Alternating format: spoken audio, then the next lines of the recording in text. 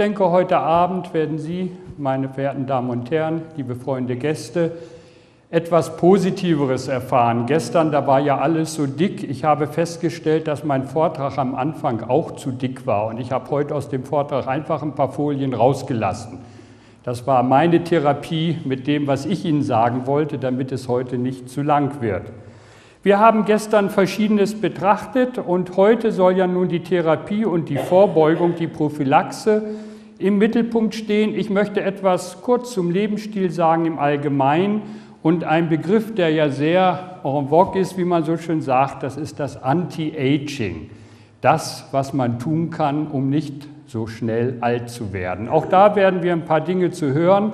Vieles hängt einfach auch mit diesen Krankheiten zusammen, aber passen Sie auf. Sie haben ja gestern diese Folie zum Abschluss gehabt. Diese beiden Herren haben hier ein Problem zu lösen und das wollen wir heute zusammen machen. Aber es sind nicht nur diese beiden Herren, auch dieser Herr hier, dem geht es ähnlich. Und auch er soll heute Abend gut aufpassen, was wir für Lösungen auch für ihn haben.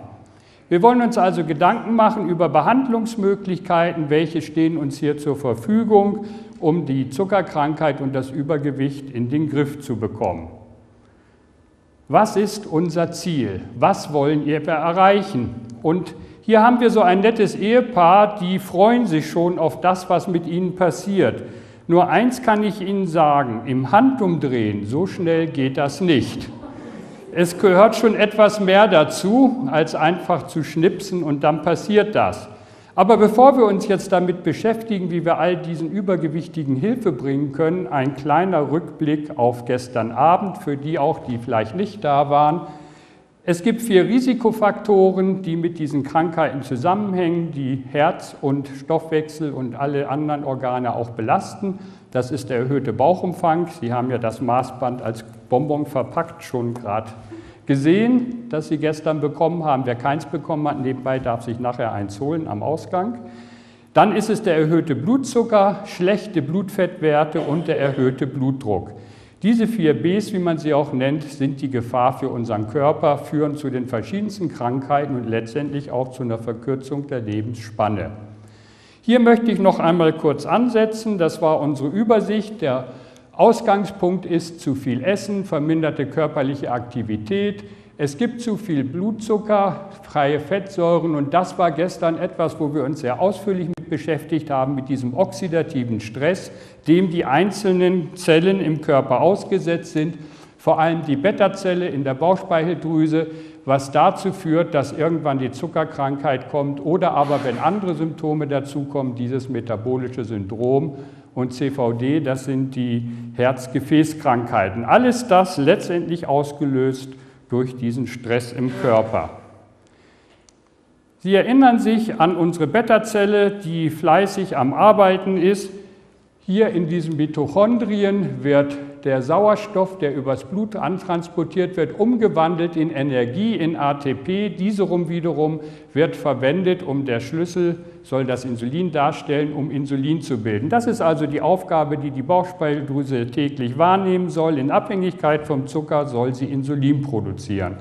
Und das, was uns bei dem ganzen Prozess gestern sehr beschäftigt hat, sind diese wilden Gestalten hier, diese ROS, diese reaktiven Sauerstoffverbindungen, die letztendlich alle Zellen im Körper angreifen und irgendwann auch mal, wenn sie nur in hoher Konzentration vorliegen und nichts gemacht wird dagegen, den Körper vernichten können, also die Zellen.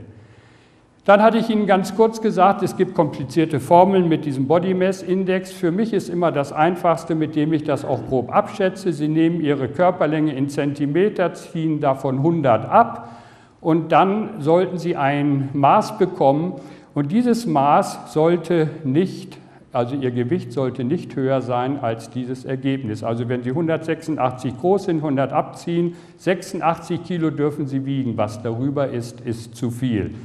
Und damit kann man es relativ genau, ganz einfach auch ausmessen. Sie haben ja Ihr Maßband bekommen, äh, vielleicht hat es der ein oder andere schon probiert. Man wundert sich manchmal. Und eben wurde ja schon gesagt, die Grenze ist 102 cm für Männer, 88 cm für Frauen, was den Bauchumfang anbetrifft.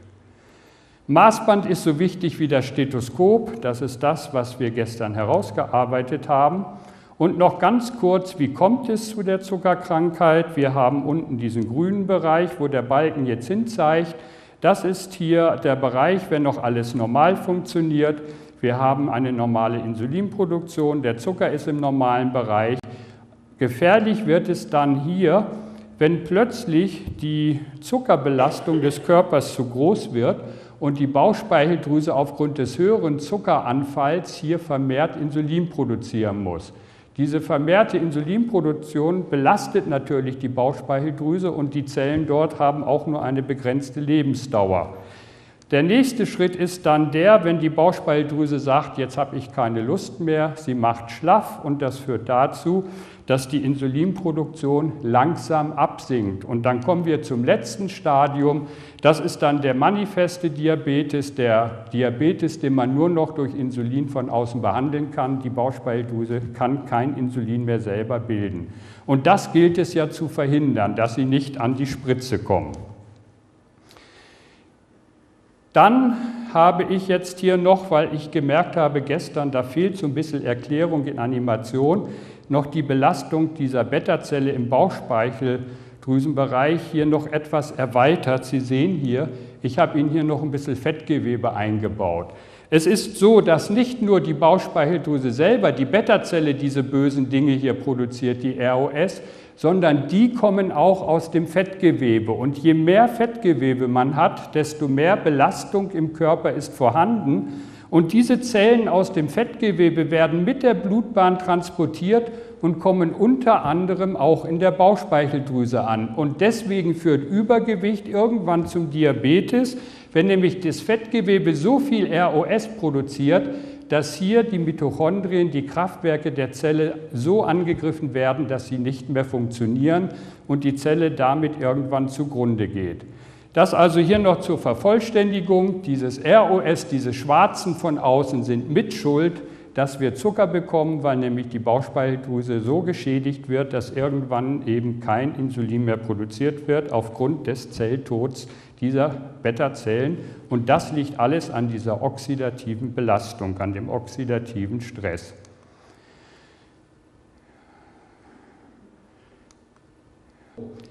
Hier noch einmal kurz, es ist nicht nur entscheidend, dass wir zu viel Fett haben, es kommt auch sehr darauf an, wo das Fett liegt und besonders gefährlich ist das innere Bauchfett, das, was wir also so von außen gar nicht tasten können, was unter dem Fetthautgewebe liegt. Das sehen wir nicht mit normalem Augen, das können wir auch so nicht tasten. Das sieht erst der Chirurg, wenn er den Bauch aufschneidet, wenn innen alles verfettet ist. Und genau dieses Fett ist es, das wir gerade gesehen haben, was diesen oxidativen Stress auslöst und die Bauchspeicheldrüse irgendwann auch mal schadet. Ja, jetzt geht es dazu, was können wir tun? Das ist einfach gesagt, das Konsensuspapier über Ernährung in diesem Jahr sagt es ganz deutlich, die Deutschen müssen abspecken. Sie erinnern sich, zwei Drittel der Männer, gut die Hälfte der Frauen in Deutschland sind übergewichtig. Aber wie können wir das nun angehen? Da helfen keine klugen Sprüche, das war mal eine Werbung der Sportverbände in Deutschland, ene mene meck, der Speck ist weg. Das geht genauso wenig wie am Anfang, dass wir einfach einmal diese Dicken umdrehen und dann sind sie dünn. Kluge Sprüche helfen nicht. Da helfen auch keine Tricksereien. Ich finde die Idee hier genial, auf die bin ich noch gar nicht gekommen. Auch so kann man sich selber täuschen, aber davon geht das Gewicht auch nicht weg. Und auch das hilft nicht. Hat dir deine Mama nicht gesagt, dass man auch ausatmen muss? Es ist nicht die Luft im Bauch, die unser Problem ist, es ist das Fett. Ja, Gestern stand in unserer Ludwigsburger Kreiszeitung etwas, was für mich auch ganz neu war und interessant, deswegen wollte ich es Ihnen heute gleich hier zeigen. Der Appetit auf Süßes lässt sich wegdenken. Allein die Erinnerung an die letzte Mahlzeit genüge, um weniger Lust auf Süßigkeiten zu haben. Interessanter Ansatz. Man hat in dieser Studie festgestellt, je detaillierter die Erinnerung an eine bestimmte Mahlzeit wachgerufen werde, desto stärker sei der Effekt. Also, ich habe da keine Erfahrung mit, ich kenne das auch erst seit gestern, aber ich kann Sie nur ermutigen, probieren Sie das mal aus, vielleicht hilft es ja. Stellen Sie sich das schönste Essen vor, das süße Essen, und dann soll Ihnen der Appetit auf die nächste süße Mahlzeit etwas geschmälert werden. Probieren Sie es einfach mal aus. Ja, Ein wissenschaftliches Zitat jetzt aus dem vergangenen Jahr, Untersuchungen, die das nochmal bestätigen, was wir schon erarbeitet haben. Übergewicht fördert oxidativen Stress. Der oxidative Stress kann durch übermäßige körperliche Betätigung, zunehmendes Alter oder zusätzlich vorhandene Krankheiten verschlimmert werden. Das ist mal der Fakt und jetzt kommt es auf das an, was wir heute machen wollen. Die Fettgewebereduktion durch Operation, Medikamente, körperliche Betätigung und oder Ernährungsumstellung kann hier Hilfe geben. Es sind hier eigentlich mal so grob schon die wesentlichen Verfahren genannt, die wir haben. Nun wird nicht jeder gleich zum Messer greifen lassen, die Operation, Medikamente, klar, wenn der Zucker und das Fett zu viel sind, muss man manchmal mit Medikamenten helfen, aber was jeder machen kann, körperliche Betätigung und Ernährungsumstellung. Und das ist auch die Basis jeglicher Therapie. Die Ernährungsumstellung und gesteigerte körperliche Aktivität sind die Basismaßnahmen für eine auch langfristig erfolgreiche Gewichtsreduktion. Diese Therapiepyramide hier basiert also auf einer ganz klaren Aussage, es geht um die Verhaltensmodifikation in Bezug auf Ernährung und Bewegung. Und erst wenn das nicht hilft, dann kann man sich mit Pharmakotherapie oder im schlimmsten Fall bei ganz übergewichtigen, schwergewichtigen Patienten auch mit einer Operation helfen lassen. Es gibt eine Vier-Stufen-Therapie, was die Ernährung anbetrifft. In der ersten Stufe versucht man, das Fett zu reduzieren. In der zweiten Stufe versucht man, mehr die Ernährung auf eine energiereduzierte Mischkost umzustellen. Und wenn das alles nicht so recht hilft, dann kann man Teile, also Mahlzeiten, ein, zwei Mahlzeiten am Tag durch eine sogenannte Formula-Diät ersetzen. Das sind Präparate, die fertig erhältlich sind, meistens in Pulverform, die man dann anrührt die ein Sättigungsgefühl hervorrufen und damit einem den Appetit etwas nehmen auf die Dinge, die nachher wirklich dick machen. Das sind also so übliche Schemata, wie sie heute empfohlen werden von der pharmakologischen Seite her, wobei das hier mehr noch eine Art Diät ist. Schon 1990 hat die Weltgesundheitsorganisation verkündet, diese chronischen Krankheiten, und damit sind gemeint Herz- und Gefäßleiden, Krebs, Bluthochdruck und Diabetes, sind zum Teil Anzeichen von Überschuss und Unausgeglichenheit in der Wohlstandsernährung. Sie sind also im Prinzip weitgehend vermeidbar. Und deswegen sind wir ja hier, um zu überlegen, wie kann man diese Krankheiten vermeiden. Wenn man die Ernährung heute so anschaut, ja, äh, manchmal nimmt man sich selber so ein bisschen auf die Schippe. Nicht? Da denken nun die Schweine das über uns, was wir sonst vielleicht über andere denken. Der Mensch ernährt sich von Gammelfleisch und Genreis. Und wenn Sie mal die Presse der letzten Monate gelesen haben, Sie finden jede Woche irgendetwas, ein neuer Skandal mit Gammelfleisch oder irgendwelche anderen Dinge. Es gibt viele, viele Tierkrankheiten. BSE ist im Moment gerade nicht mehr im Gespräch. Eine große Gefahr immer noch, sie wird nur im Moment in der Presse nicht weiter erwähnt. Es gibt zunehmende Fälle, wir hatten in Ludwigsburg erst wieder einen vor kurzer Zeit, dass eben gerade diese, der Rinderwahnsinn auch noch Menschen zum Tode bringt. Oder die vielen anderen Dinge, die Erkrankungen durch Salmonellen, durch andere Erreger, Campylobacter und wie sie alle heißen, die weitestgehend beim Fleischverzehr mit aufgenommen werden. Unser Herr Ex-Gesundheitsminister zeigt hier, wo es drauf ankommt, mit der Karotte in der Hand. Da loben wir doch unsere Politiker, dass sie uns zeigen, wo es lang geht. Nun gut, ich lasse die Aussage mal stehen, nachher werde ich Ihnen da das Gegenteil hier beweisen. Ernährung kann man also jetzt unter verschiedenen Gesichtspunkten betrachten, was wir essen, wie viel wir essen, wann wir essen, wie wir essen, warum wir essen und wo wir essen. Es gibt verschiedene Möglichkeiten und in den Antworten hierzu gibt es sicher einige Überschneidungen. Die Frage nach dem Wo ist eng verbunden mit der Frage nach dem Was. Wenn ich in ein Fastfood-Restaurant gehe, habe ich nicht allzu viel Auswahl.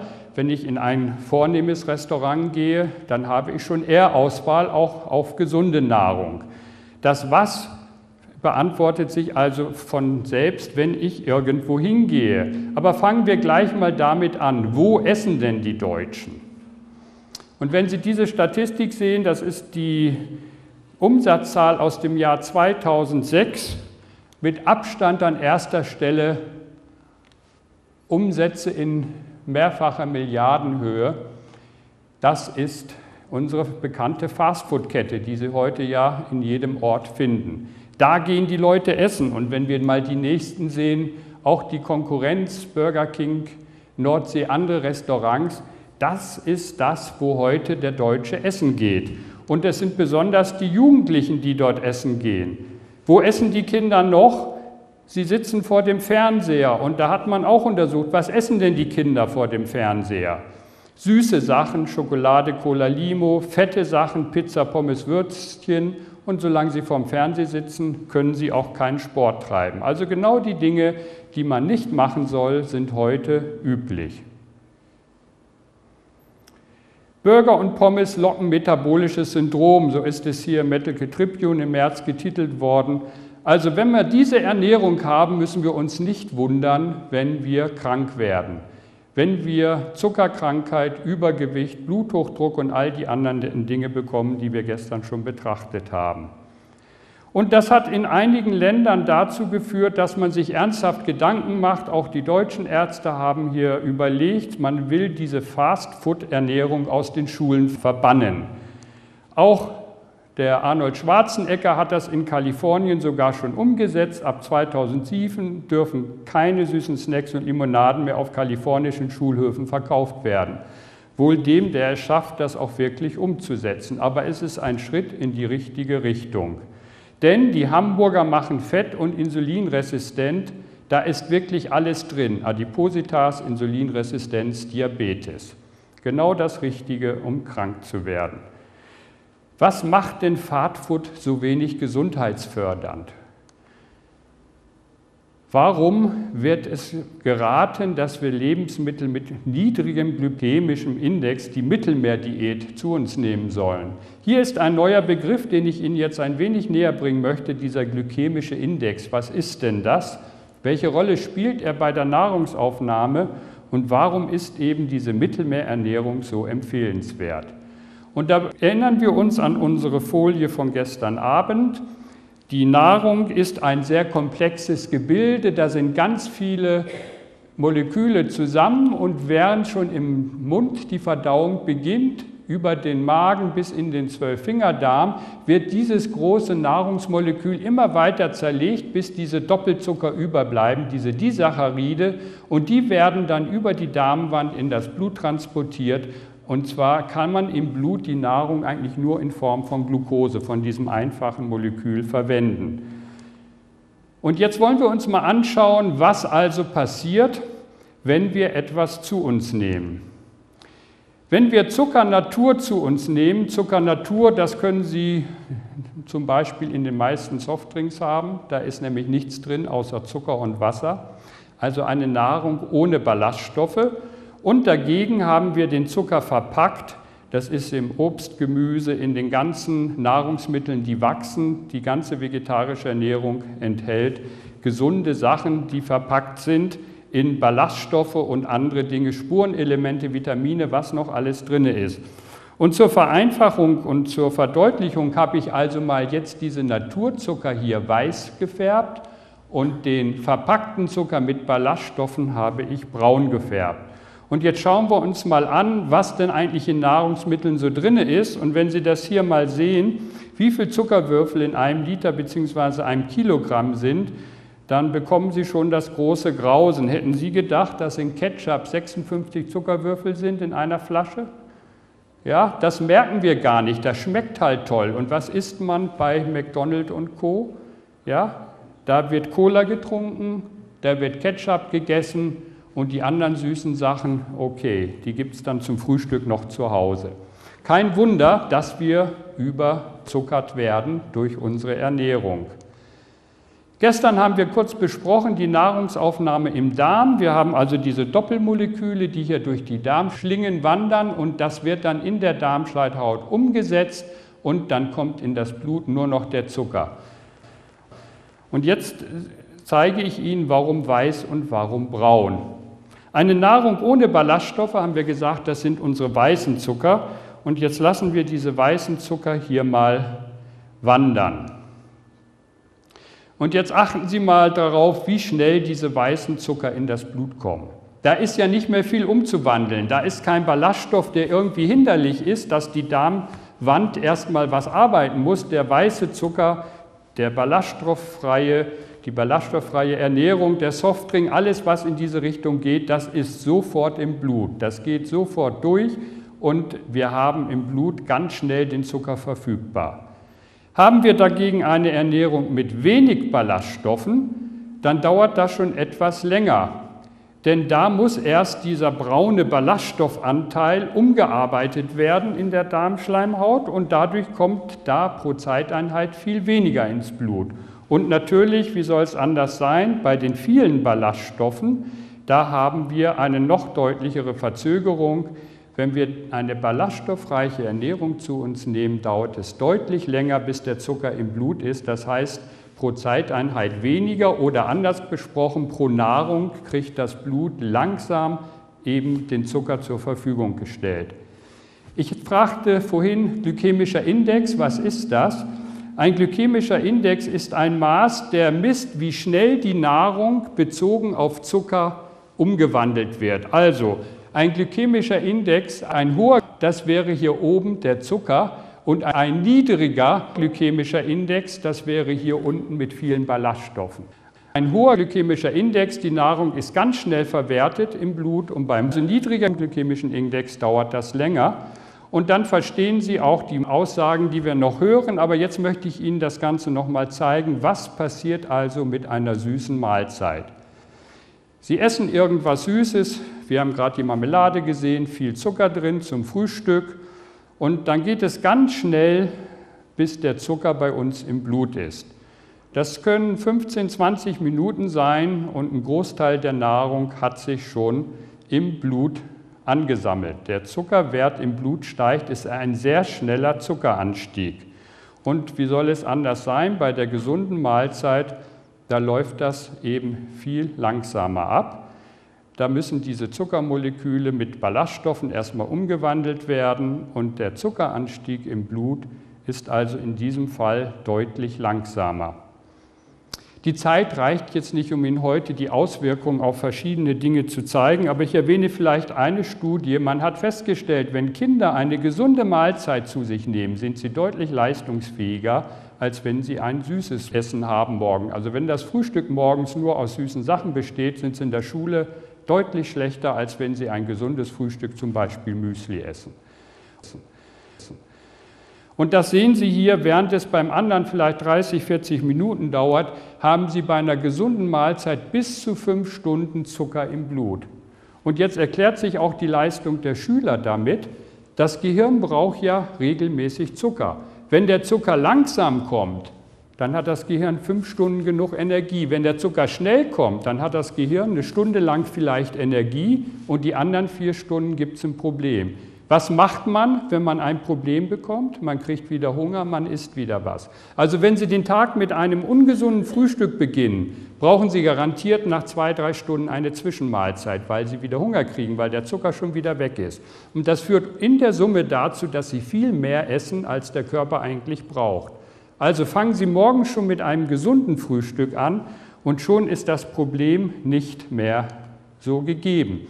Aber es gibt noch eine andere Gefahr. Diese Blutzuckerspitzen, dieser schnelle Anstieg des Zuckers nach einer Mahlzeit führt dazu, dass die Menschen überhaupt krank werden.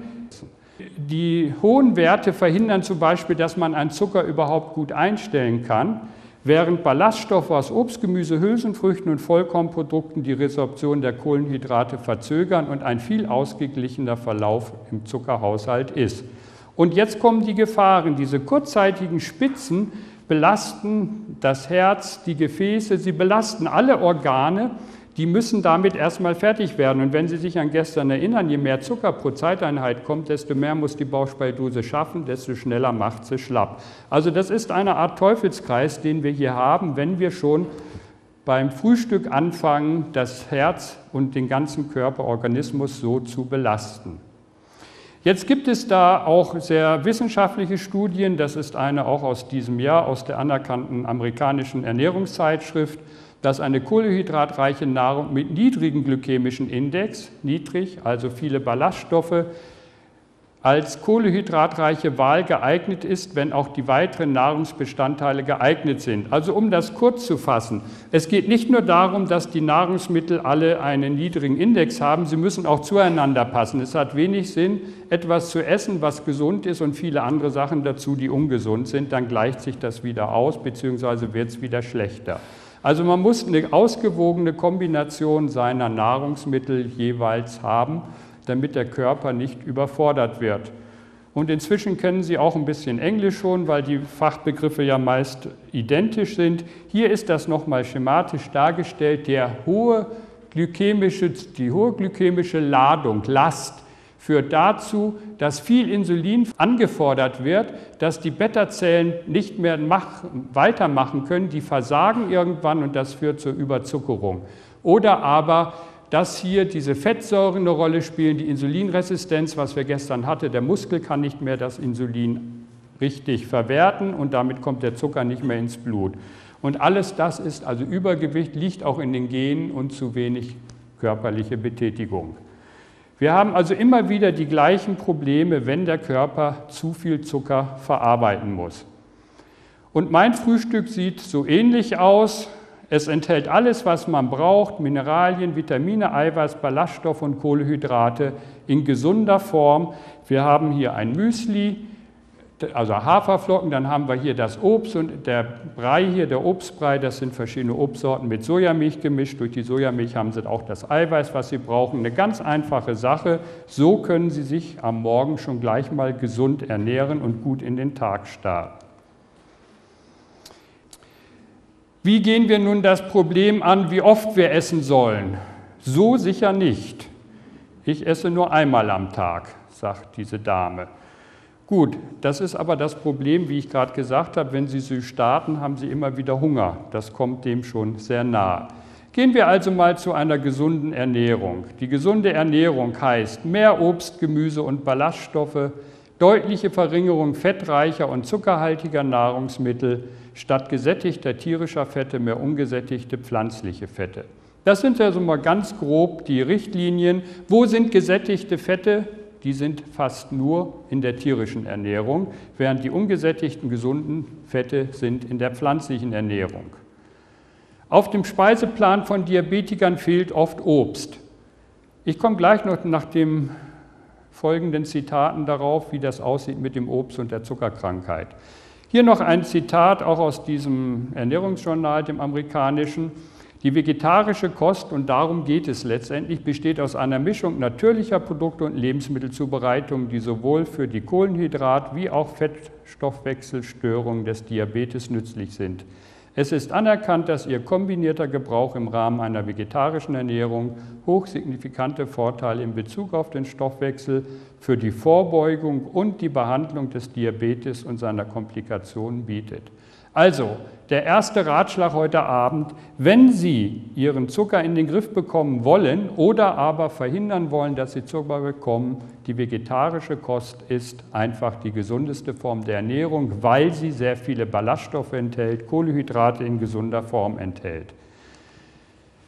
Und es ist interessant, die Deutsche Diabetikergesellschaft hat 2000 auch Empfehlungen herausgegeben, und das entspricht nicht ganz dem, was vielleicht ein Diabetiker manchmal zu hören bekommt. Hier heißt es, es ist zu betonen, dass die Ernährungsempfehlungen für Menschen mit Diabetes denen sehr ähnlich sind, die auch der Allgemeinbevölkerung zur Erhaltung der Gesundheit empfohlen werden. Deshalb sollte sich die Nahrung für Diabetiker nicht wesentlich von der unterscheiden, die für die ganze Familie empfehlenswert ist. Sie erinnern sich vielleicht daran, es gab Zeiten und gibt es auch heute noch, da steht in den Regalen der Supermärkte eine spezielle Kost, das steht dann für Diabetiker und da wird dann der normale Tafelzucker durch Fruchtzucker ersetzt und, und, und. Diesem Zitat nach und dem, was Sie bisher gehört haben, können Sie das eigentlich alles vergessen. Es gibt keine spezielle Diabetikerkost. Das, was für jeden Menschen gesund ist, ist auch für einen Diabetiker gesund.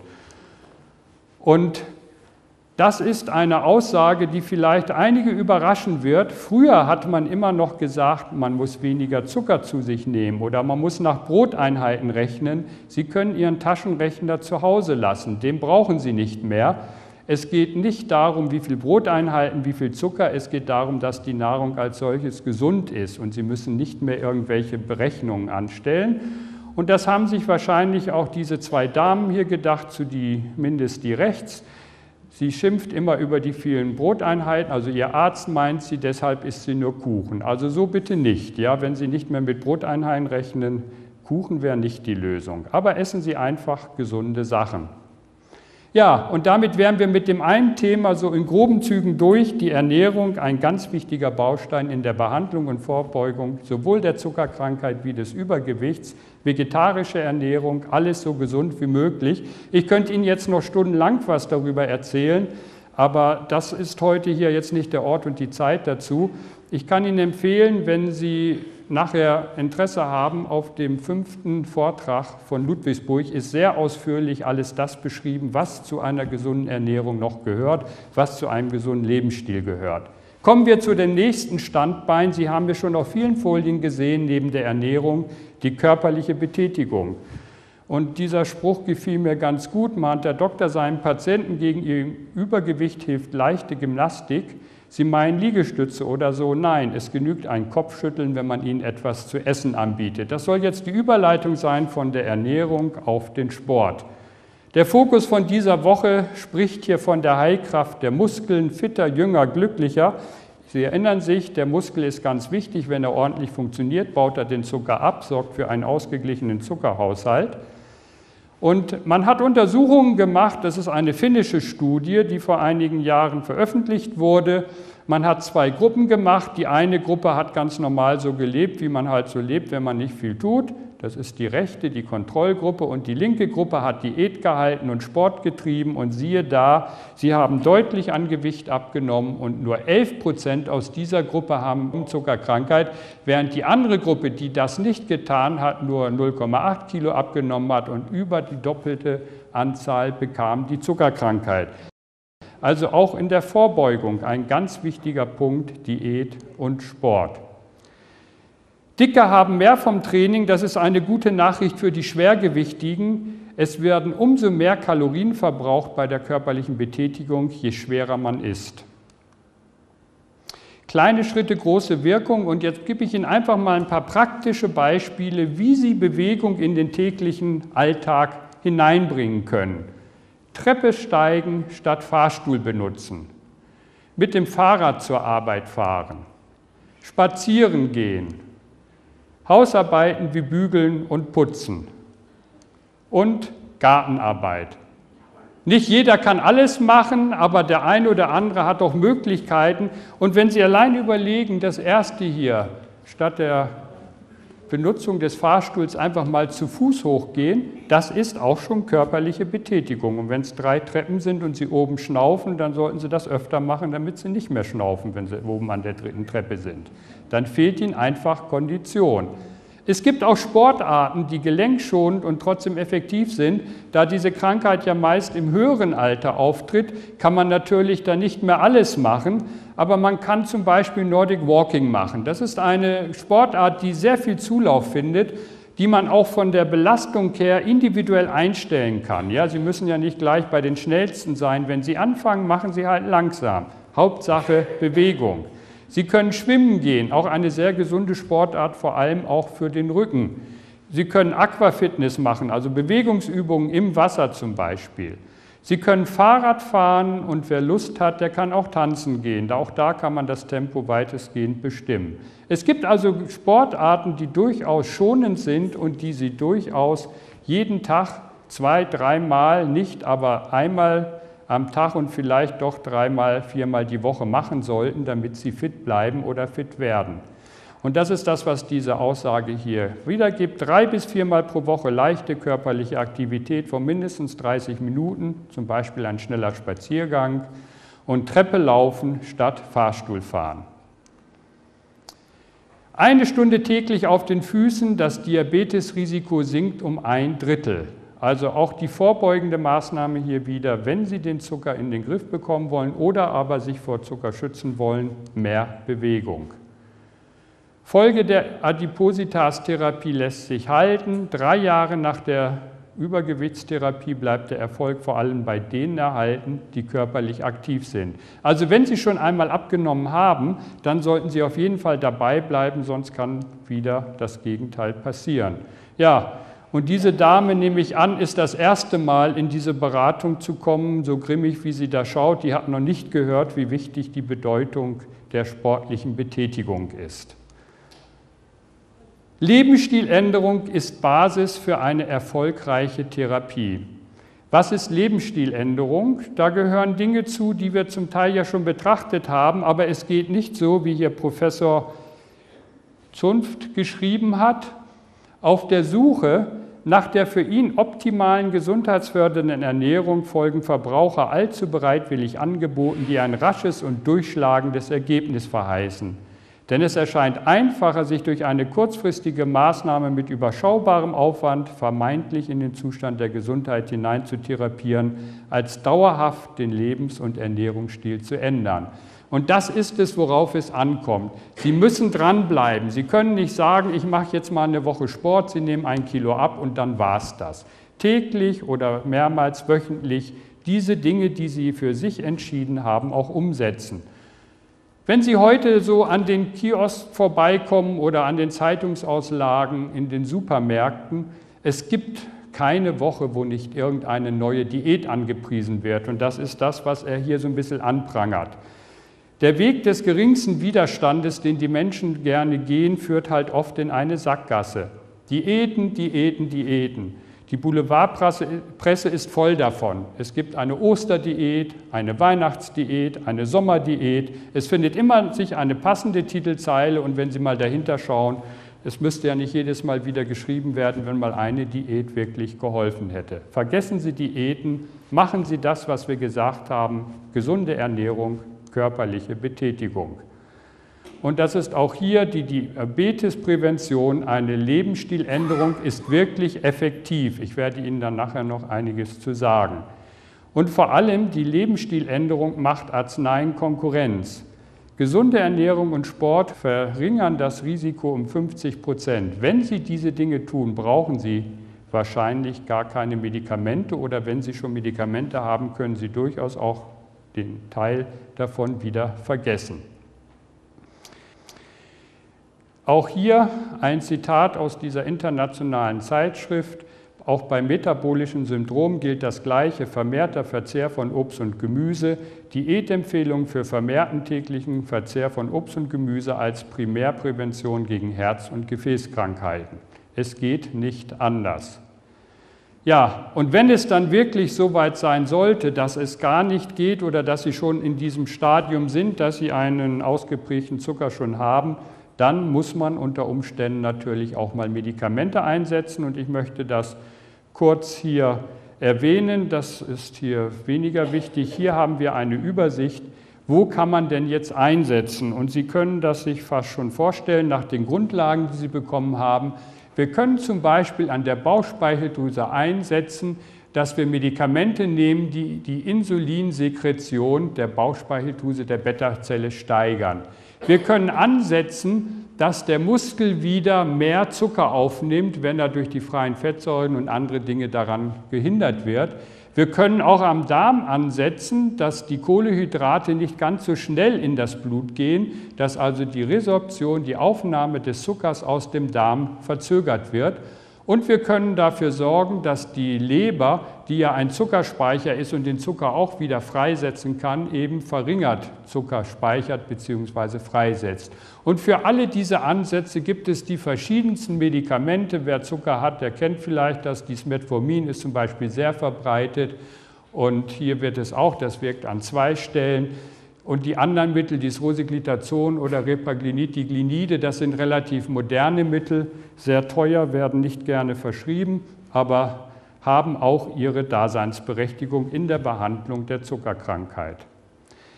Was ist nun, wenn einer schon Insulin spritzen muss? Und hier ist auch ein interessantes Zitat aus der vergangenen Woche was auch ein bisschen das belegt, was man so in der Praxis erfährt. Die Sterbensrate bei Diabetikern, die Insulin spritzen, ist höher als bei denen, die sich mit Tabletten behandeln. Jetzt können Sie natürlich, wenn kein Insulin mehr da ist, das durch nichts ersetzen. Aber Sie sollten halt schauen, dass Sie gar nicht erst insulinpflichtig werden. Dann ersparen Sie sich viele Folgen, die sich daraus ergeben, wenn die Bauchspeicheldrüse gar nichts mehr produziert. Dann kommt das, was als letztes übrig bleibt. Wenn man also so schwergewichtig, übergewichtig ist, dass nichts mehr hilft, dann ist die Chirurgie der einzige Ausweg. Für viele Betroffene ist es wirklich die einzige Lösung und man kann 20 Lebensjahre gewinnen, wenn man sich dann chirurgisch sein Problem lösen lässt. Und da gibt es verschiedene Möglichkeiten und ich möchte das hier nur ganz kurz ansprechen.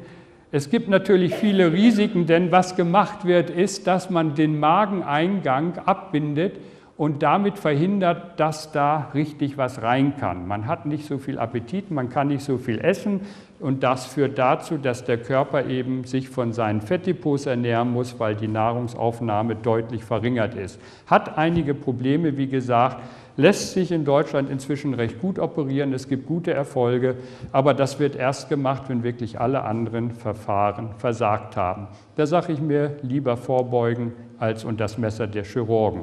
Ja, und wie sieht es mit der Vorbeugung aus? Was können wir tun? Wie retten Sie sich vor Diabetes? So stand es letztes Jahr im Fokus. Eine Studie, auch dieses Jahr veröffentlicht, aber es gibt viele dieser Art schon aus den Vorjahren. Der Verzehr von Hülsenfrüchten, besonders Sojabohnen, steht im umgekehrten Verhältnis zum Risiko an Diabetes mellitus Typ 2 zu erkranken. Ballaststoffreiche Ernährung schützt vor Typ 2 Diabetes. Und dieses lange Zitat möchte ich kurz fassen. Es wird klar, dass nicht die Ausschaltung freier Radikale durch Antioxidantien, sondern besser die Verhinderung ihrer Entstehung zum Ziel führt. Also vorbeugen ist besser als behandeln. Wenn wir zu viele freie Radikale, diese ROS, diese aktiven Sauerstoffverbindungen haben, müssen wir die ja irgendwie loswerden. Aber es ist immer noch der bessere Weg, gar nicht erst das Kind in den Brunnen fallen zu lassen, als wenn man es nachher rausholen muss. Und das ist das, was Ihnen auch sitzen bleiben soll, wenn Sie mit diesen ganzen Problemen konfrontiert werden. Jungs brauchen mehr Bewegung als Mädchen, um nicht dick zu werden, also Vorbeugung schon im Kindesalter. Die Kinder sollen schon beginnen, sich körperlich zu betätigen. Und im Zeitalter von Fernsehen und Computerspielen fällt es ja nun wahrlich schwer, ein Kind nach außen zu bringen, in die frische Luft, in die Bewegung zu bringen das wird halt lieber mit dem Joystick vor dem heimischen Computer gemacht. Das ist die einzige Bewegung. Ja, dann sollten Sie auch wissen, dass bestimmte Medikamente zu einer Gewichtszunahme führen können. Hier sind vor allem die Antidepressiva zu nennen, die eben, wenn sie halt erforderlich sind, doch meist diese nicht so gern gesehenen Auswirkungen haben. Interessant, dass Stillen vor Fettpolstern schützt.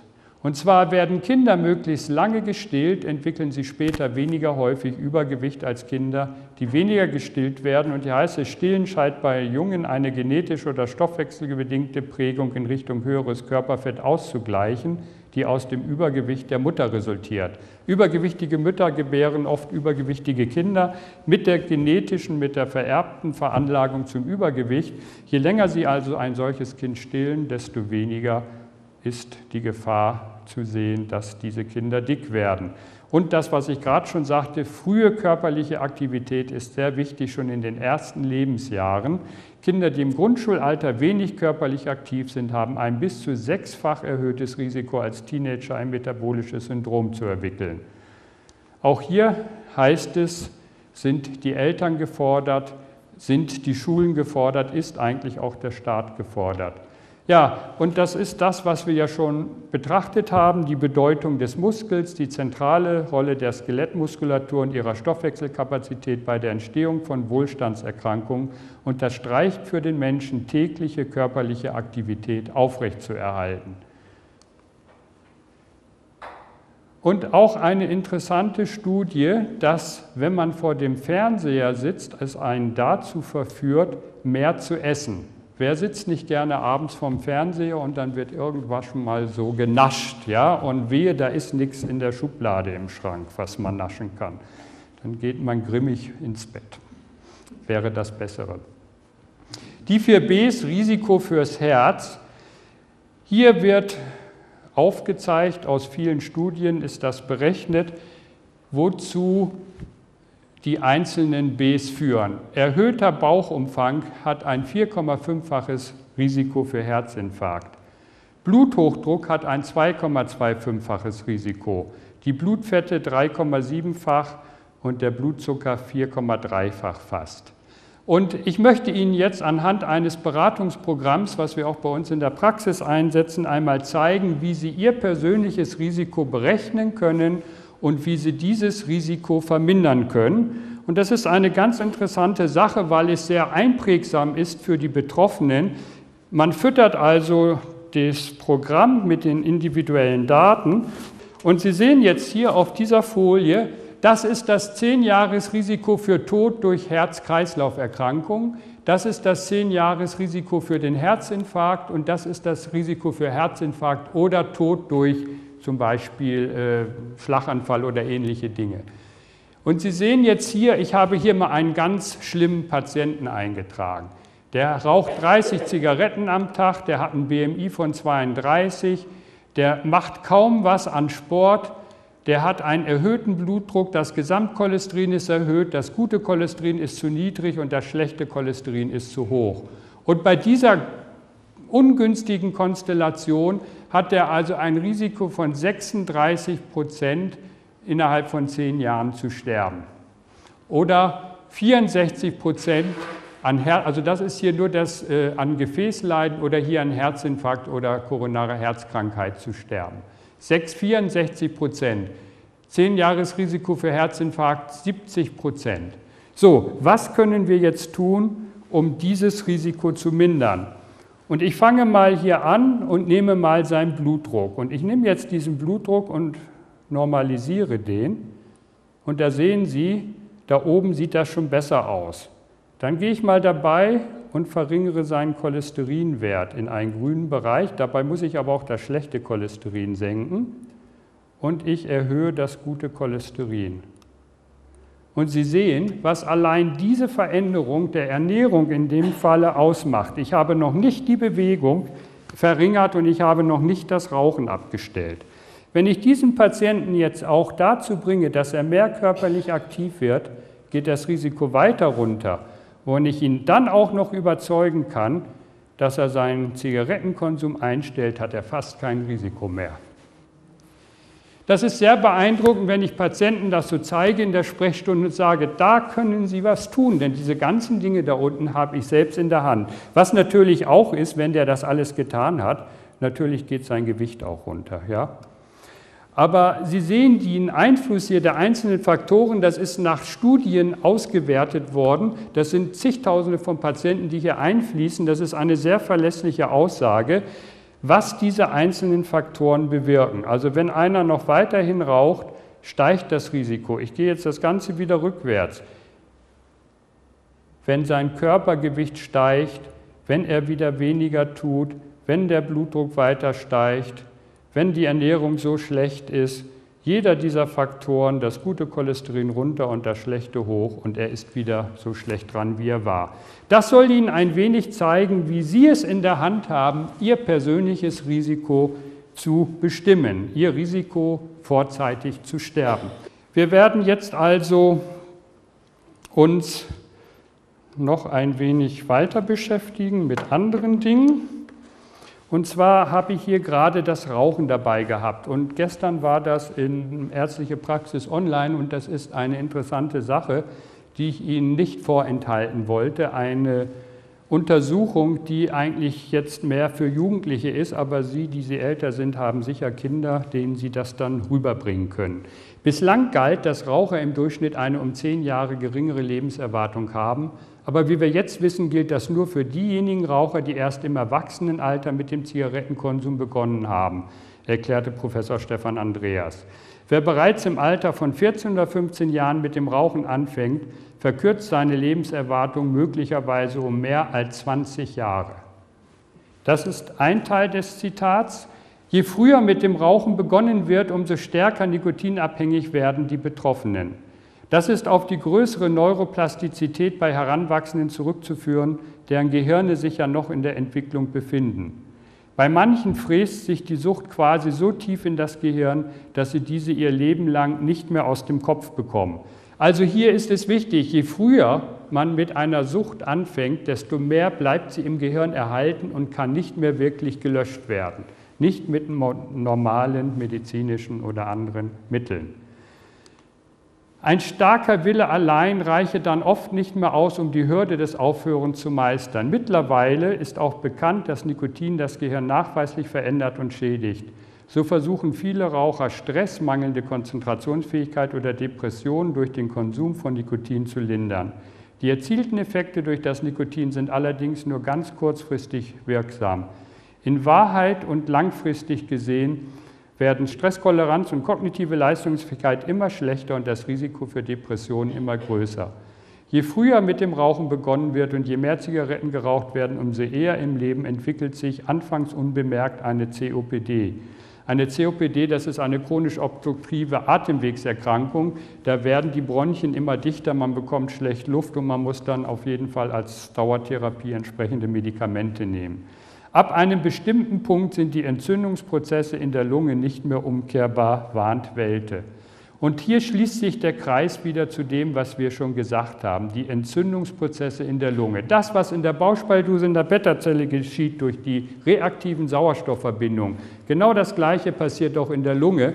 Ein Zigarettenrauch, also einmal inhalieren aus einer Zigarette, hat mehrere Millionen dieser ROS, dieser reaktiven Sauerstoffmoleküle und die bleiben eben nicht nur in der Lunge, die gehen natürlich übers Blut auch in andere Körperregionen. Deswegen ja auch die große Gefahr, was wir vorhin hatten, für Herz-Kreislauf-Erkrankungen. Der Herzinfarkt ist bei Rauchern deutlich häufiger, weil auch dort die Gefäße im Herzen geschädigt werden. Also der gleiche Ursprung, diese oxidative Belastung, der oxidative Stress auch durch das Rauchen. Und erschreckend für mich war eben hier, dass wenn man früh anfängt, das Lebensalter bis 20 Jahre verringert werden kann. Die teuerste chronische Krankheit kostet 60 Milliarden Euro Jahr für Jahr. Das stand hier über den Diabetes. Aber ich möchte Ihnen jetzt eine Frage stellen. Welche Erkrankung kommt denn den Staat, wenn wir alle Kosten von der Geburt bis zum Tod mit einbeziehen, am teuersten? Das heißt, welcher Patient ist volkswirtschaftlich gesehen die größte Belastung? Ist das der Raucher? Ist das der Diabetiker? Ist das der Übergewichtige? Was meinen Sie? Übergewicht. Übergewicht. Raucher. Raucher. Weitere Antworten? Okay, lassen Sie sich überraschen, was bei dieser Frage herauskommt. Früher Fetttod erfreut den Staat, die dünnen Kosten am meisten. Raucher und Dicke fürs Gesundheitswesen gut. Stand auch die Woche bei uns in der Zeitung, aber die Untersuchung wurde schon vor einigen Wochen im Handelsblatt veröffentlicht. Gesund und schlank kommt den Staat teuer.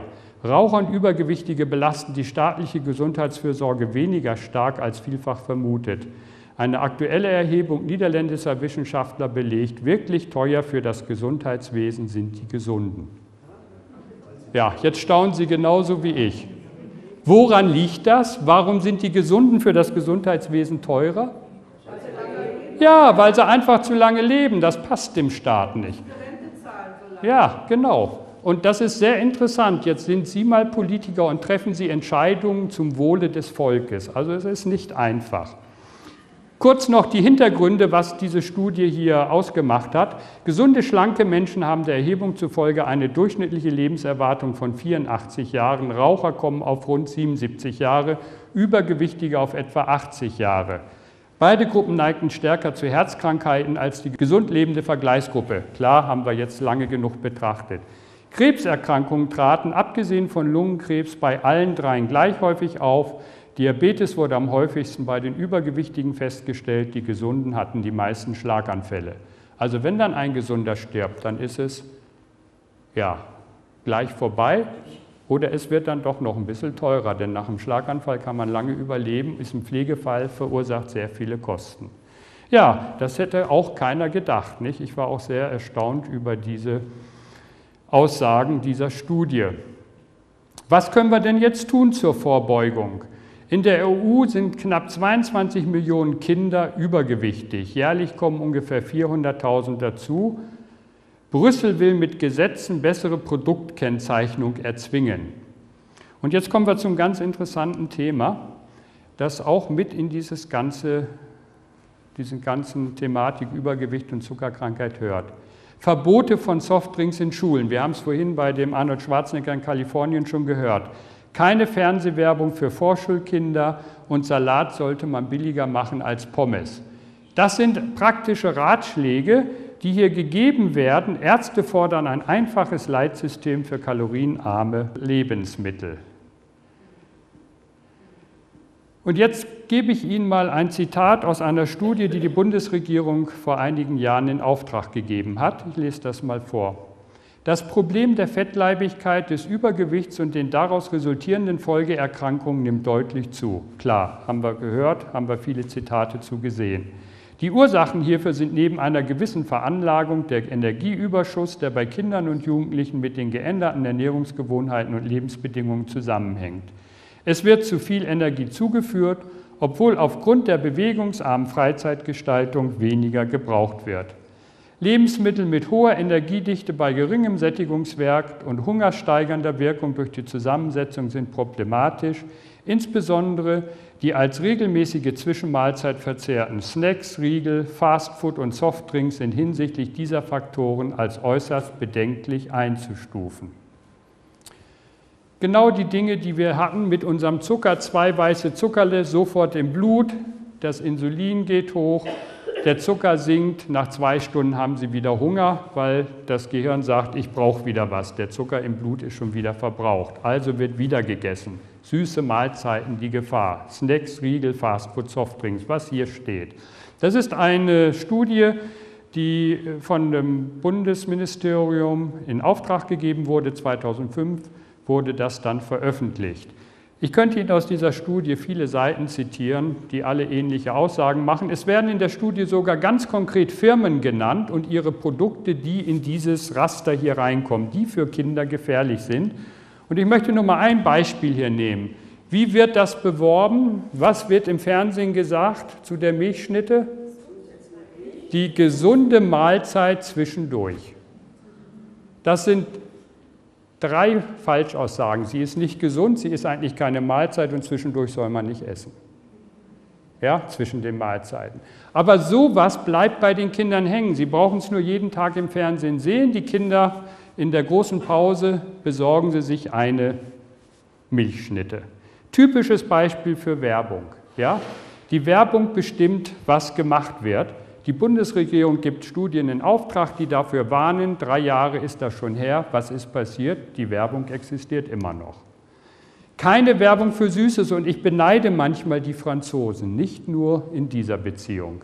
Mit vier Maßnahmen will die französische Regierung gegen Übergewicht bei Kindern vorgehen, kündigte Gesundheitsministerin Bachelot an. So darf ab April im Kinderprogramm der Fernsehsender für bestimmte Nahrungsmittel wie Süßigkeiten nicht mehr geworben werden, wie die medizinische Tageszeitung jetzt online berichtet. Die Details sollen Anfang März auf einem Treffen von Vertretern der Regierungsnahrungsmittelindustrie, Verbrauchern, Wissenschaftlern und Fernsehsendern abgestimmt werden. Die zweite Maßnahme betrifft die großen Supermarktketten. An den Kassen dürfen keine Süßigkeiten mehr angeboten werden. Kennen Sie ja? Da, wo die Kinder eben warten müssen, bis sie dran sind mit den Eltern, da liegen die Süßigkeiten. Dann sollen neue Richtlinien für gesundes Essen für die Schulkantinen ausgearbeitet werden. Und schließlich wollen die Ministerinnen für Gesundheit, Landwirtschaft und Wirtschaft gemeinsam eine Analyse zur Nahrungsmittelqualität in Auftrag geben und so weiter und so fort. Einfache Maßnahmen, andere Länder reagieren, wir machen große Studien, kommen zu Ergebnissen und leider passiert nicht allzu viel. Und hier noch ein kleines Beispiel, um dieses Thema abzuschließen hier über Kundenaufklärung. Die normalen Cornflakes, die Sie überall kaufen können von verschiedenen Herstellern, müssen ja auch wie jedes Nahrungsmittel in Deutschland deklariert werden. Und zwar ist es die Vorschrift, dass die Inhaltsstoffe der Menge nach angegeben werden müssen. Also an erster Stelle muss das stehen, was am meisten in diesem Nahrungsmittel ist und dann so weiter bis zum Ende. Hier steht bei Mais 60 Prozent. Dann kommt der braune Zucker. Warum steht da keine Prozentangabe hinter? Dann kommen die Erdnüsse, dann kommt schon wieder der Zucker, dann kommt der Honig.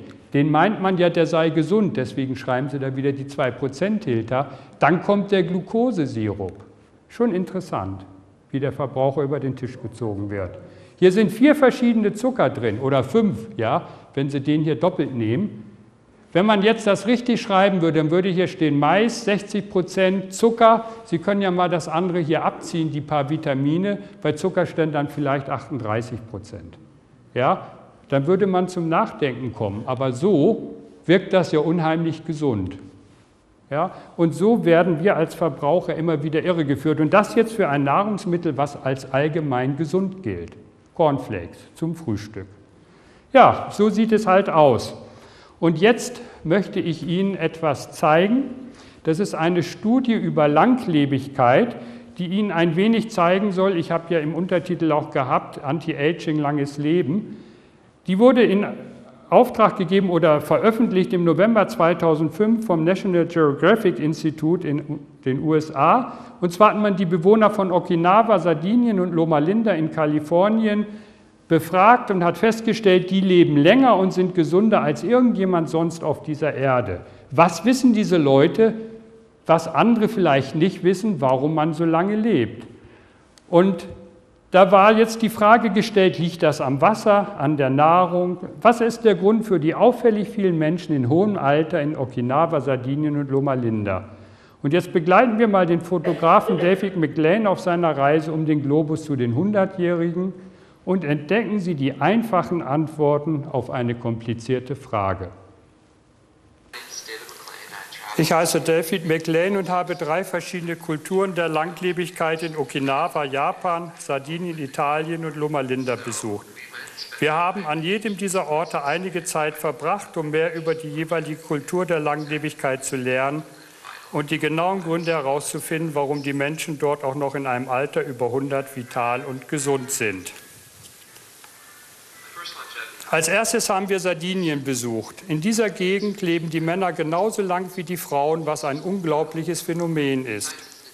Die Wissenschaft ist sich nicht ganz sicher, warum das so ist, aber eine Theorie besagt, dass die Männer deswegen so lange leben, weil die Frauen die Hosen anhaben und die Männer deshalb weniger Stress haben. Außerdem entwickeln die Bewohner Sardiniens einen beispiellosen Eifer für ihre Familien. Wir besuchten eine Familie, wo gerade vier Generationen zusammen waren. Sie treffen sich jedes Wochenende und veranstalten so ein riesiges Essen für alle. Diese soziale Komponente ist für die Langlebigkeit sehr wichtig. Als ich bei dieser Familie saß, dachte ich mir, das ist es, was das Leben und die Familie eigentlich ausmachen. Aber die Kulturen der Langlebigkeit auf Sardinien verschwinden immer mehr. Die Wurzel des Problems ist der Abschied vom traditionellen und naturbelassenen Essen in Verbindung mit einem ruhigen, stressarmen Lebensstil. Wir haben eine fast 100-jährige Frau und ihre Urenkelin besucht. Später sahen wir, wie dieselbe Urenkelin Kartoffelchips gegessen hat und haben uns gefragt, ob sie wohl auch so lange leben wird wie ihre Urgroßmutter. Und jetzt gehen wir also nach Okinawa. Okinawa ist ein Archipel ganz im Süden von Japan. Dort wohnen die ältesten Menschen auf diesem Planeten. Wir haben viele Menschen getroffen, die über 100 Jahre alt sind und noch immer sehr aktiv und gesund leben. Die 90-Jährigen fahren noch Fahrrad und fischen acht Meilen vom Ufer entfernt im Riff, in dem sie alte Tauchtechniken einsetzen. Wir haben eine beeindruckende Frau getroffen, die über 100 Jahre alt ist. Sie heißt Kamara und war ein Amoy. Dieses Wort ist der Ausdruck für eine Gruppe von Freunden, die gemeinsam durchs Leben gehen und sich gegenseitig helfen. Ich bin davon überzeugt, dass die Energie und Vitalität, die sie dadurch bekommen, mit ein Grund für ihre Langlebigkeit ist. Die Leute von Okinawa haben ein schönes Wort, das Ikigai heißt und so viel wie der Grund, warum man morgens aufwacht, bedeutet. Ich glaube, dass auch das ein Grund ist, warum sie so lange leben. Ein wichtiger Grund für die Langlebigkeit der Menschen von Okinawa ist die Tatsache, dass sie wenig Kalorien zu sich nehmen. Interessanterweise essen sie aber sehr viel.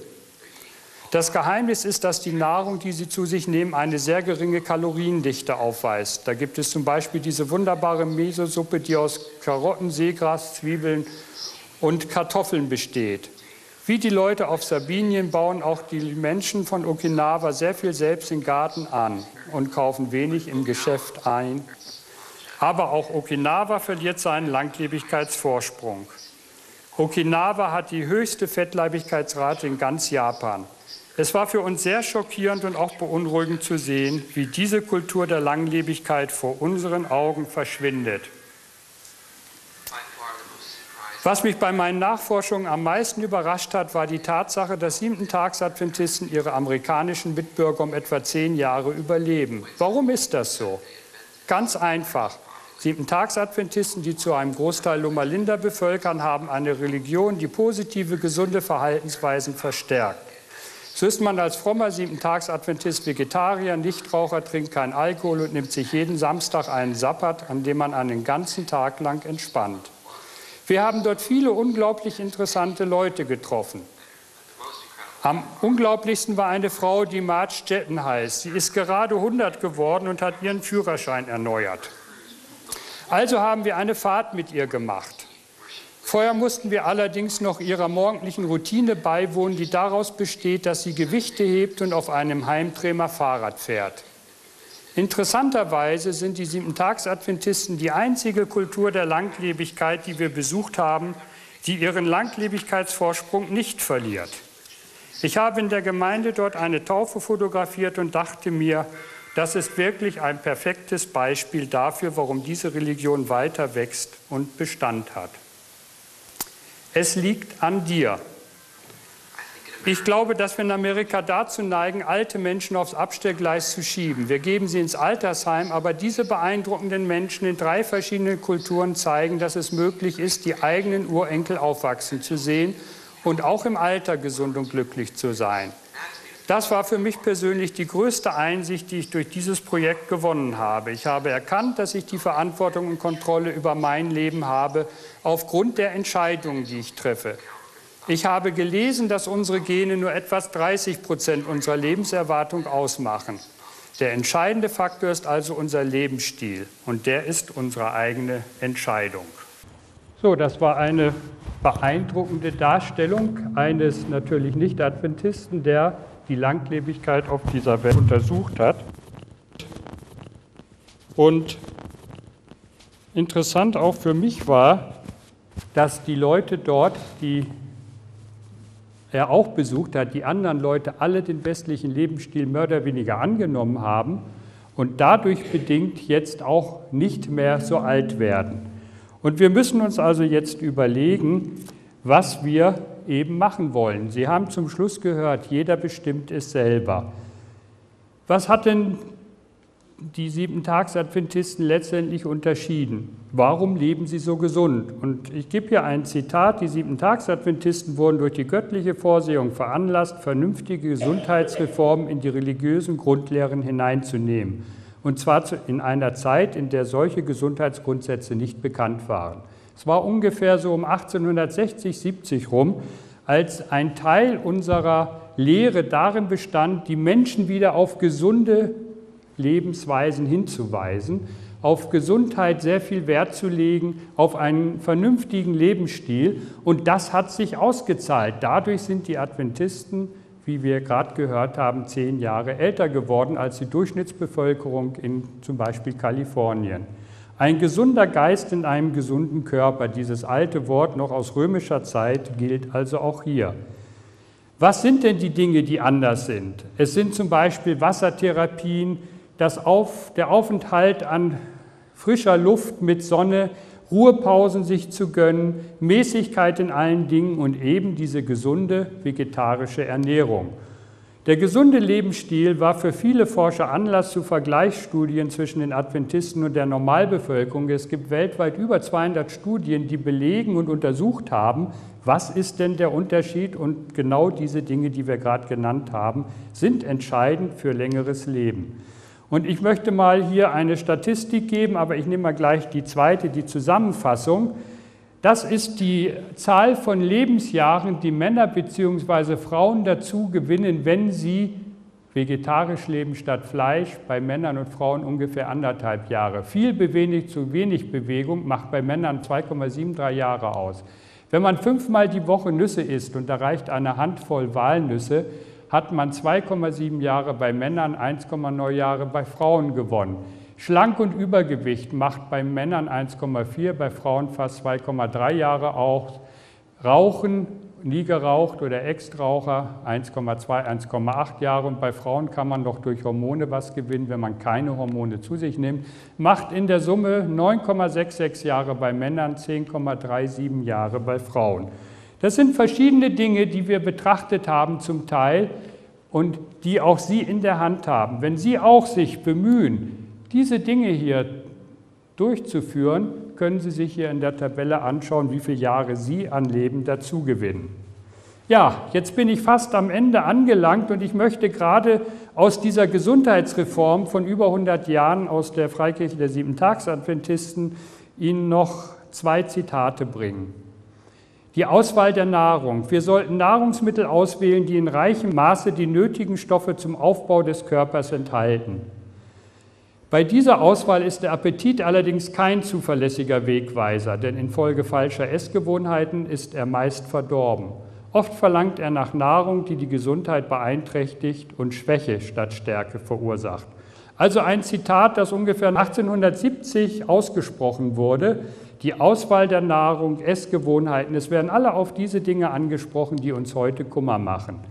Und das nächste Zitat, auch von den Ernährungsgewohnheiten der Gesellschaft können wir uns nicht leiten lassen. Krankheiten und Leiden, die überall herrschen, resultieren zum großen Teil aus populären Irrtümern hinsichtlich der Ernährung. Ich habe Ihnen ganz am Anfang gesagt, ich möchte Ihnen Informationen liefern, Sie zum Nachdenken anregen. Ich habe nicht allzu viel vor dem gebracht, was an Irrtümern heute verkündet wird. Ich denke, das hören Sie jeden Tag in der Presse, in den Medien. Ich habe Ihnen versucht, das zu bringen, was gesund ist. Und wenn Sie nächstes Mal im Fernsehen die Werbung anschauen, beobachten Sie mal, wie viel von den beworbenen Lebensmitteln gesund sind. Die werden Sie nicht finden. Ich sage immer, wenn es gesund wäre, bräuchte man ja keine Werbung dafür machen.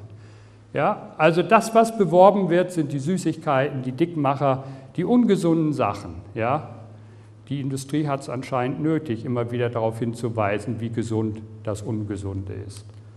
Ein weiteres Zitat, dieses eigentlich zusammenfasst, was die Auswahl unserer Ernährung anbetrifft. Getreide, Früchte, Nüsse und Gemüse bilden die von unserem Schöpfer für uns gewählte Kost. Diese Nahrungsmittel, so einfach und natürlich wie möglich zubereitet, sind am gesündesten und am nahrhaftesten. Schon mehr als 100 Jahre ist es her, als das verkündet wurde und der Erfolg ließ ja nicht auf sich warten, die deutlich längere Lebenserwartung. Und da die meisten Adventisten auch heute noch oder viele zumindest vegetarisch leben, ungefähr die Hälfte, und auch nicht rauchen, Alkohol meiden, sich bemühen, Sport zu treiben und auch Ruhepausen einlegen, ist es auch heute noch so als einzige Lebensgruppe weltweit, dass das Alter von 100 häufiger überschritten wird als bei anderen Menschen. Ein Zitat zum Abschluss, das das auch noch einmal zeigen soll. Bei einer Erkrankung sollte man sich deshalb zuerst Gewissheit über ihre Ursache verschaffen. Gesundheitsschädigende Lebensumstände sollten dann verändert und falsche Gewohnheiten korrigiert werden. Schließlich muss die Natur in ihrem Bemühen unterstützt werden, die Schadstoffe auszuschalten und im Organismus normale Funktionen wiederherzustellen. Das ist das, was ich Ihnen hoffe, in diesem Seminar nahegebracht zu haben. Ich habe versucht, Ihnen die Ursachen zu zeigen, die hinter diesen populären Wohlstandserkrankungen stehen. Und wir können nicht mehr tun als Ärzte, als Sie darauf hinzuweisen. Meine Aufgabe, die Aufgabe meiner Kollegen ist es, Ihnen Gewissheit über die Ursachen zu verschaffen, wie es hier heißt. Der nächste Schritt, nämlich die Lebensumstände zu verändern, falsche Gewohnheiten zu korrigieren, das ist Ihre Aufgabe. Wir können Ihnen Ratschläge geben und ich hoffe, das ist mir gelungen an den zwei Abenden, Ihnen ein bisschen das Wissen zu vermitteln, um Hintergründe, um Ihnen zu helfen, die Zukunft besser zu planen. Das Abnehmen beginnt im Kopf. Diese Karikatur soll der vorletzte Beitrag hier an der Tafel sein, an der Leinwand. So natürlich nicht. Aber im Kopf heißt, Sie müssen sich entscheiden. Die Entscheidung, und das habe ich Ihnen ganz am Anfang gesagt, die Entscheidung Ihres zukünftigen Lebens liegt in Ihrer Hand. Wir können helfen, Sie müssen es tun. Und ich möchte mit einem weisen Rat, ups, der weise Rat ist jetzt leider verschwunden, aber ich sage Ihnen den eben, mit einem weisen Rat noch schließen, Ein fröhliches Herz tut dem Leibe wohl. Wer hat das gesagt? Das, genau. Der weiseste aller Menschen hat das gesagt. Und das wünsche ich Ihnen, dass Sie ein fröhliches Herz auch dabei haben. Nichts ist schlimmer, als wenn Sie jetzt mit Zwang anfangen, gesund zu essen und dabei psychisch zugrunde geht. Ich übertreibe es mal so. Es muss Spaß machen, das Essen. Aber Sie müssen den ersten Schritt gehen und gesundes Essen ist gutes Essen, nahrhaftes Essen und ist auch schmackhaftes Essen. Oft hat man einfach verlernt, einfache Speisen schmackhaft darzubieten. Und das ist etwas, was man auch lernen kann. Und jetzt habe ich hier schon die Folie. Wenn Sie also weitere Informationen zu dem Thema haben wollen, vor allem was den Lebensstil anbetrifft, ich habe einen ganzen Vortrag draußen in dieser Serie, der sich nur damit beschäftigt, wie wir unser Leben besser gestalten. Wir haben vorhin die Frage gestellt, wie viel essen, wann essen, wo essen. Ein Vortrag beschäftigt sich mit den Antworten dazu, wie man auch die Mahlzeiten über den Tag verteilt, wie oft man isst und alle diese Dinge. Ja, das war es soweit von meiner Seite. Sie dürfen gerne jetzt im Anschluss ein paar Fragen stellen, noch wenn Sie denn solche haben. Ich bedanke mich für Ihre Geduld und Aufmerksamkeit und ich wünsche Ihnen, dass Sie das, was Sie gehört haben, auch wirklich schaffen, umzusetzen, wenn Sie es dann müssen. Nicht jeder braucht alles das. Viele haben schon einen gesunden Lebensstil, aber die, die es noch nicht haben, die sollten doch von dem jetzt profitieren und gleich anfangen, morgen die ersten Schritte zu tun zu einem gesünderen Leben und damit zu einem gesunderen Leben und zu einem längeren Leben. Vielen Dank für Ihre Aufmerksamkeit.